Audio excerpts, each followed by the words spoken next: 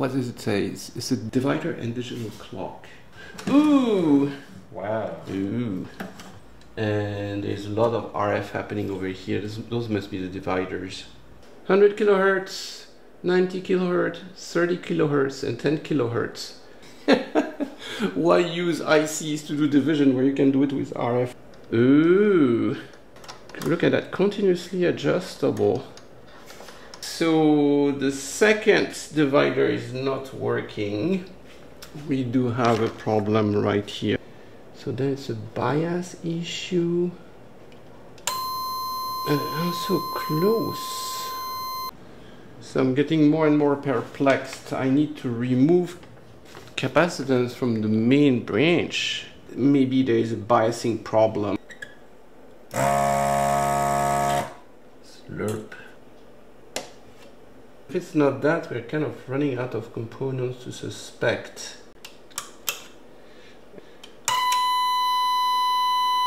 Okay.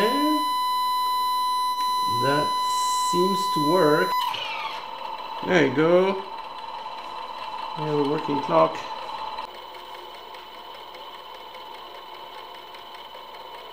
So now that the clock is started, I should get a pulse now and then. Oh, there it is. There we, there we have it. Okay, there it is. All right. So that's the cesium clock every second, and that is the uh, the big the big one is the pulse generated by the crazy circuit. Uh, on that, you want to adjust it to its ultimate position. 10 microsecond. It's supposed to be adjustable up to 1 microsecond, 5 microsecond, and now we have 1 microsecond.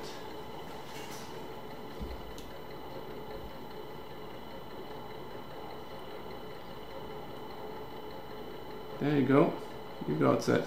I hooked up the clock to the cesium reference frequency standard. And finally I have a true atomic clock and that is actually the config that they used uh, the first time they flew an atomic clock to synchronize the time across the world